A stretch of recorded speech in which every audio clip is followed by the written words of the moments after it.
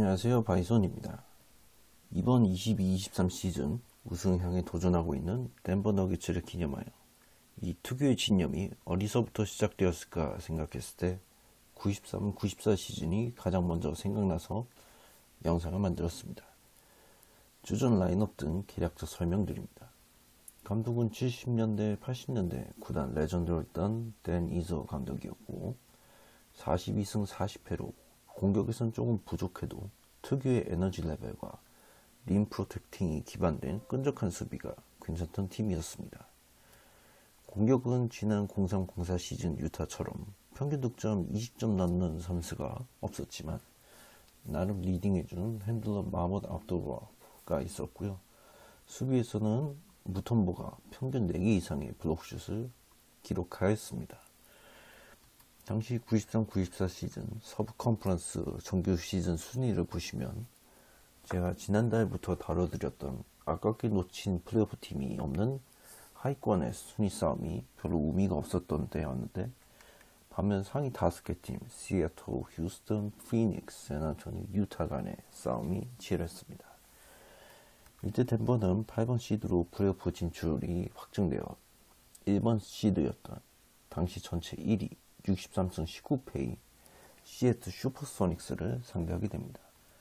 션 캠프와 게리 페이튼이라는 젊은 듀오를 앞세워 화끈한 공격 농구를 펼쳤던 시애틀이 당시 우승 1순위로 점쳐지는 분위기였습니다. 플레이오프 1라운드가 당시 5전 3선승제였는데 2차전까지는 시애틀의 흐름이었습니다. 그러나 3, 4차전 덴버의 홈코트에서 치러진 경, 경기였는데 급격히 이때부터 흐름이 덴버로 넘어옵니다. 결국 덴버가 5차전 끝에 98대 94로 승리하며 시리즈 3승 먼저 따며 2라운드 진출을 확정 지었습니다. 여기까지는 흔히들 들어보셨을 8번 시드가 1번 시드를 이긴 첫 사례가 됩니다. 이 당시 무턴보는 시애틀의 에이스 션 캠프를 확실히 봉쇄하였는데요. 특히 4차전과 5차전 연달아 8개의 블록슛을 기록했는데 골밑을 확실히 지켜준 역할을 했습니다. 이 다섯 경기 평균 기록을 보시면 캠프가 얼마나 고된 시리즈를 치르는지 알 수 있습니다.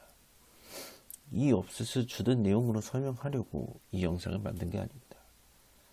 2라운드 다음 상대가 유타였는데 이때는 쉽게 졌겠지 생각하셨을 수 있는데요. 그렇지 않았습니다. 잘못하면 역사가 엄청난 흐름으로 바뀌었을 법했죠. 이 부분을 말씀드리고 싶어서 이 영상을 만든 목적이 있습니다. 당시 유타는 스탁턴과 존, 어, 존 스탁턴과 칼 말론의 콤비에 슈터 제프 호나섹까지 가세한 공격력이 나름 괜찮은 팀이었죠. 1차전부터 3차전까지 그들 공격 페이스를 막는 어려움을 겪어 매리 0승 3패 탈락 위기에 모면합니다. 어떤 팀도 7전 4선승제 시리즈에서 0승 3패 상황에서 역전을 뒤집은 적은 아직까지도 없습니다. 덴버가 그러나 이를 일낼 뻔했습니다. 4차전부터 이제 말론에 대한 집중 수비를 강하며 1점차 신승을 따낸 다음 5차전 2차 연장전까지 간 끝에 로버트 팩을 기반으로 한 벤치 자원의 활약으로 승리 6차전은 무톤보가 잘투 13개의 성공으로 23점 활약을 힘입어 승리 결국 7차전까지 성사시킵니다. 마지막 유타 홈에서 치러진 7차전은 결국 덴버의 고질적 약점인 공격 부분에서 활로가 나오지 않아 결국 아쉽게 무릎을 꿇게 됩니다. 이 무톰보는 해당 시리즈에서도 1라운드 때처럼 리바운드, 블록슛 부분에서 대단한 활약을 펼쳤지만 시애틀의 캠프, 션 캠프보다는 더 공격적인 면에서 훌륭했던 칼 말론을 상대로는 조금 역부족이었습니다. 덴버는 이 1994년 95 시즌에도 2년 연속으로 플레이오프 진출하긴 하였지만 별다른 개선이 되지 않아서 1라운드에서 탈락을 하게 되었고요. 결국 이 시즌 이후 덴버의 해결 과제는 크게 두 가지가 남겨졌습니다. 양질의 득점원과 슈터 보충 문제.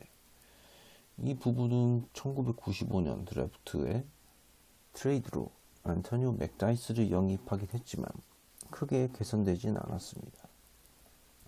두 번째 문제로 제기됐던 것은 handler 마못 압둘로프의 기복 문제였습니다.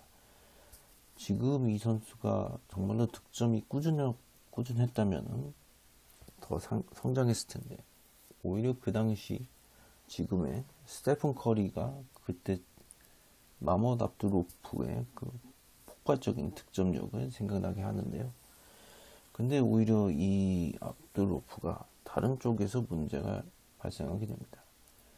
경기 시작 전 보통 국가 연주가 되는 동안 종교 의식을 했다는 것이 오히려 논란이 좀 많이 됐죠.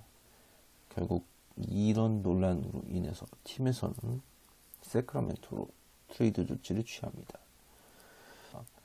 96년 애틀란타로 이적한 후에 팀의 전력이 급 약화되어서 결국 2003년까지 플레이오프를 진출하지 못하는 약한 팀으로 남게 됩니다.